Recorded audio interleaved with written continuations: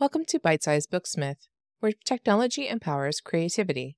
I'm Angie, and on this channel, we explore how emerging technologies and AI can enhance our craft and lives as writers. Today, we're doing something a little bit different. Instead of coming up with an idea for a video today, you guys actually came up with the idea for today. I actually posted earlier and asked what the biggest questions everyone had about Novelcrafter was. So that's what we're going to talk about today here are the awesome comments that came in. And I, there's a couple that I'm going to address first, and then we're going to go into Novelcrafter so I can answer the others. I think the easiest one that I can answer is this one right here. Can you write realistic contemporary literature with this, meaning Novelcrafter? Or is it designed more for the fantasy genre? You can write realistic and contemporary literature, no problem at all. I tend to write more supernatural and fantasy stuff because that is what I'm drawn to. But there are plenty of people that are writing all kinds of realistic and contemporary pieces. I will say that earlier today, I was working on two other projects. I was working on an menage, contemporary menage erotic piece, as well as a mafia romance. And both of those were in a contemporary world. There is no issues. It's actually, I think, easier to write realistic and contemporary literature with Novelcrafter and AI than it is to do all the world building that goes with doing something that's either paranormal, science fiction, or fantasy. So there you go. Okay. So what's next? I want to talk about fine tuning. I haven't done any fine tuning yet. And the reason for this is I'm super busy in my normal life. And I honestly just haven't gotten to it yet. But I will say there are some fantastic videos already out there on fine tuning if you want to check them out. So I will start here with the AI Writers Connection, Eric Gold, and Cece. Let's see, we've got Create Your Writer's Voice Fine Tunes right here. And she actually also gives you a converter, I believe. I've seen her mention that in the community. I'm actually in the AI Writers Connection community, so come by, say hi. And then also, I believe this one right here is also fine tune. Uh, so, fine tune prose generation in your voice. Definitely go and check these two videos by Marigold out. And then I wanted to come here to the nerdy novelist, Jason Hamilton. He has, I think, four of them. I want to say there's one down here using the free tool from Novelcrafter for fine tuning. And I want to say this one right here. Uh, he actually shows you how to find your fine tune and use it inside of Novelcrafter. And I know this one right here, he talked about it as well. I haven't watched that one yet, but I do know that he has a couple of these already. So go check out uh, Jason Hamilton he is the nerdy novelist. And then also check out AI Writers Connection. So the rest of the questions so we've got crafting prompts and populating the codex. We've also got considering how context is created, and I can show you guys that, and as well as getting data into the codex, as well as the plot and the scenes. So let's move on over to Novelcrafter. So, another project I was working on today was taking my National Novel Writing Month book and putting it into Novelcrafter. It was pre Novelcrafter, so I was actually writing that using a combination of Future Fiction Academy's Rexy as well as Claude 2.0. So, let me go ahead and open this up. So, the reason I wanted to use this one is because I've done a lot of work on it. And so we've got a lot of stuff here I haven't added everything in yet. I was just trying to go through today and I was testing the beats in the different versions of Claude to see which version of Claude was sounding best for this project. Let's talk about getting data into the codex. So, all of my information for this story is actually inside of Notion. And unfortunately, I did have to copy and paste everything in here. So, I've got um, uh, just to give you a little bit about the story, it's a young adult dystopian science fiction novel. So it's dystopian in space. It's about a girl who is a technological genius who's into engineering and coding and stuff like that.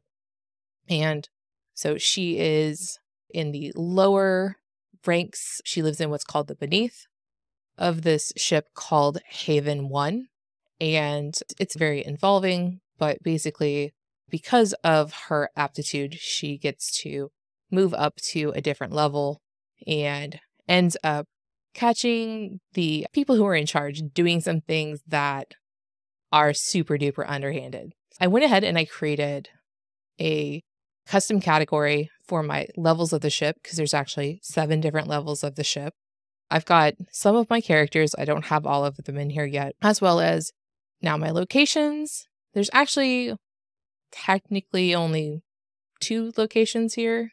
So I took the levels of Haven 1 and I actually put them as nested references. Uh, I didn't want to put them all in one, so I just attached them uh, to this one here. And then I've got Haven 1, which is the ship itself.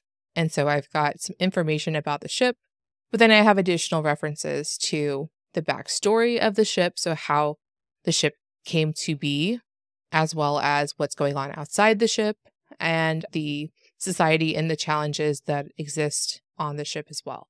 And then I also reference the levels of the ship. So everything's connected.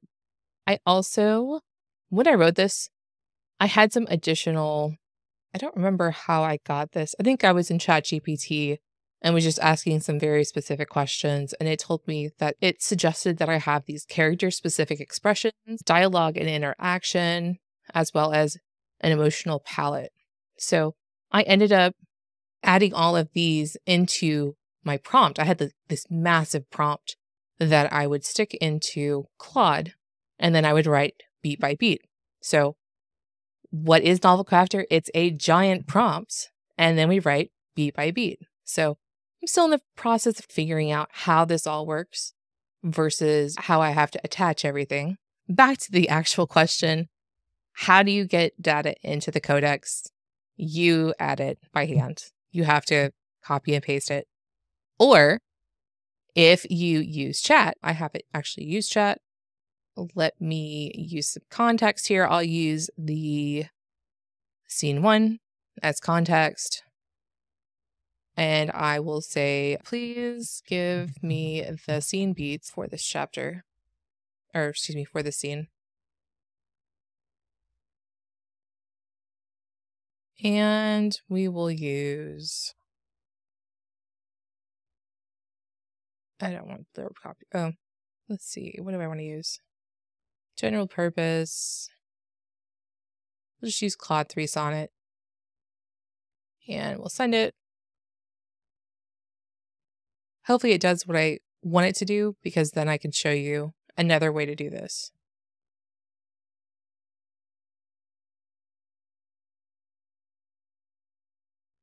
Okay, great.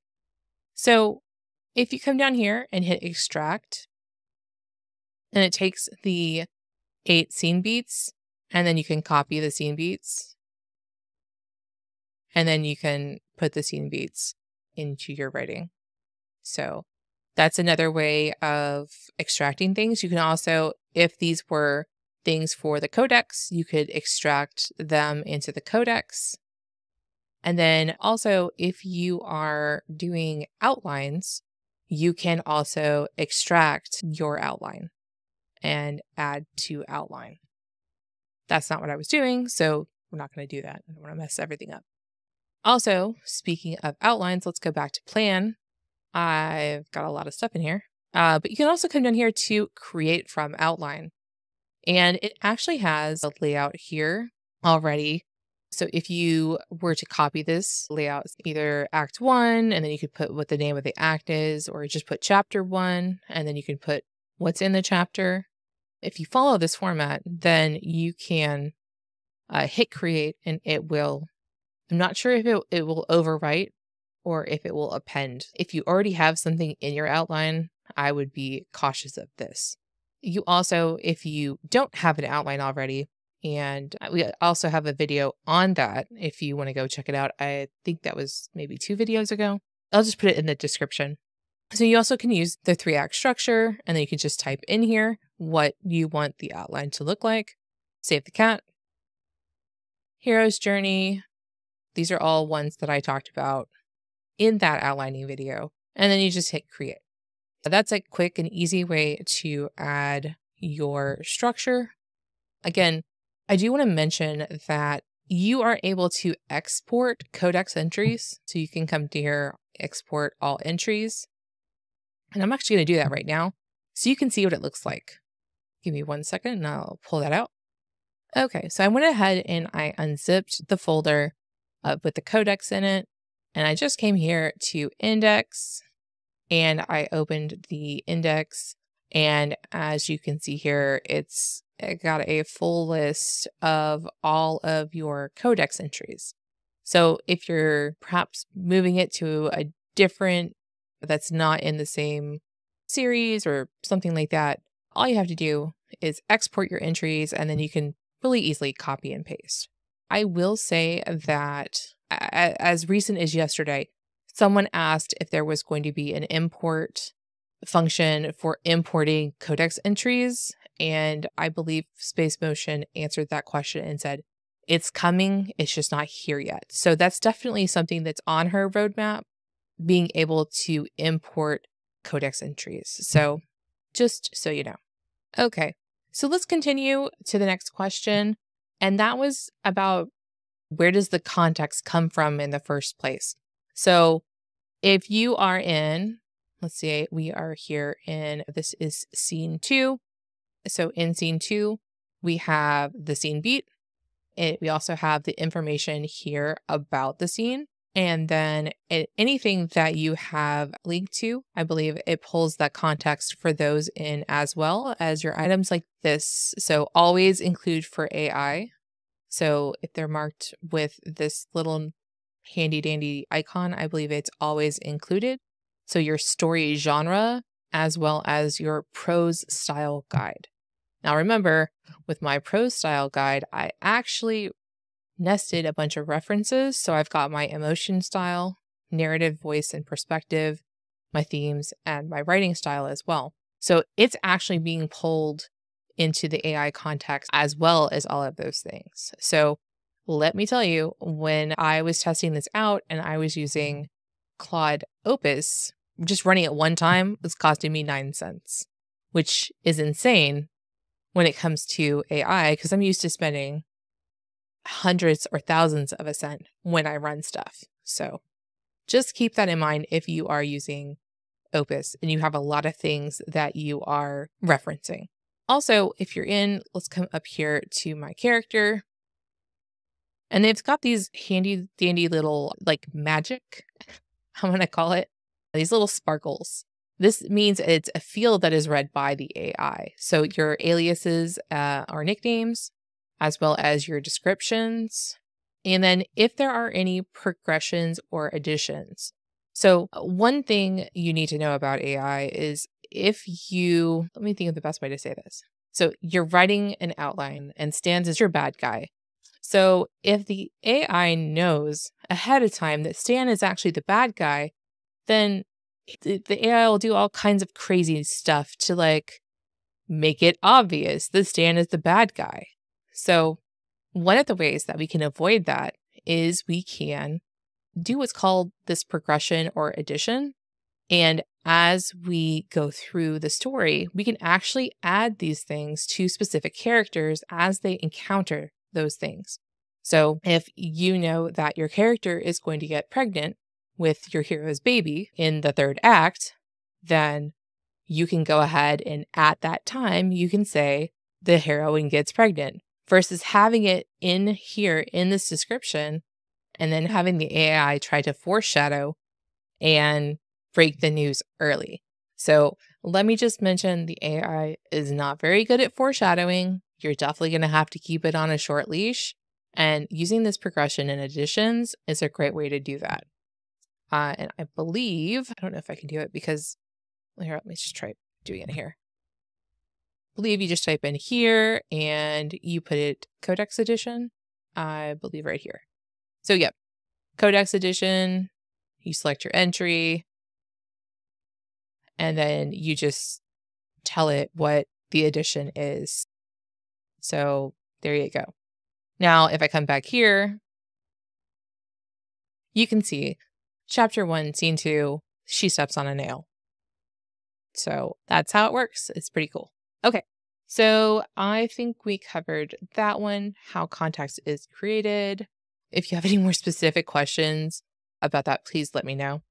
And then crafting prompts. So I will say that whether I'm crafting scene beats or whether I'm crafting prompts for my stuff, I'm always rewriting it. I don't know about you guys, but what the AI gives me is usually really anemic. So, this, for instance, is really short. And unfortunately, that's not enough context for it gave this back to me. But if I gave this to it, it, it would be like, I don't know what you're talking about. I have a tendency to I'll run a draft of, okay, here's the scene beats that I think should be in here. And then I'll take it probably into Notion or I use Notepad like all the time. I'll rewrite it, I'll beef it up really a lot, and then I'll stick it in here. So that's how, when I am doing prompts, at least for the scene beats, that's how I do it. Now, how I do prompts for here, I just come into the instructions and I tell it what I want it to know. If I don't know what I want the prompt to do, I'll have a conversation with ChatGPT and I'll say, Hey, who would do this thing? If I wanted someone, for instance, I did this blurb copywriter one and I said, You're a copywriter and you're adept at creating blurbs for a diverse range of fiction genres. That came from me having a conversation with the AI where I said, Hey, who writes blurbs for books besides the author? If we're not, the author is usually the one that writes it in an indie setting. So who actually writes it with one that's being published by a big publishing house? And then it gave me a list and it also gave me a list of different things that those people should know how to do. And then I take that list and then I determined what's the persona that I want to program into my prompt. Okay. So let me know if you have any more questions or if I didn't answer that question correctly. So, anyway, I think that's enough for today. My voice is going. I did want to uh, put it out there. If you guys have any additional questions, go ahead and put them down below. I can eh, always make another one of these videos pretty soon. And I will talk to you guys later. Have a great day.